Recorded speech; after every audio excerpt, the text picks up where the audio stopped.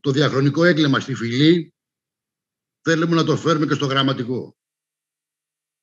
Προεκλογικά όλοι το χαρακτηρίζαν έγκλημα. Ξεκινάμε, δεν ξεκινάμε την κυρία Δούρου. Δεν ξέρω αν ακούει. Ήταν φαν τότε του γραμματικού και κατηγορούσε για το έγκλημα αυτό. Διοίκησε, συνέχισε το έργο, συνεχίζει και ο κύριος Πατούλης με τη νέα του διοίκηση που έχει. Για μας είναι μονόδρομος, θα το ξέρετε.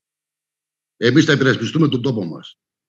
Ό,τι και σχεδιασμού θα κάνετε, θα μείνουν στα χαρτιά. Πάρτε το χαμπάρι. Θα yeah. μείνετε σήμερα απόψε με την ψηφοφορία αυτή, όσοι ψηφίσετε αυτό το έγκλημα, στα κοιτάκια της ιστορίας, σαν καταστροφής του τόπου, της νέας γενιάς.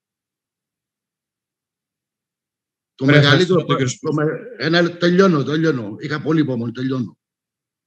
Περίσεψε απόψε πάλι υποκρισία κάποιων περιφερειακών συμβούλων, λες και ήταν παρθενογέννηση. Πραγματικά. Λες και ήταν παρθενογέννηση.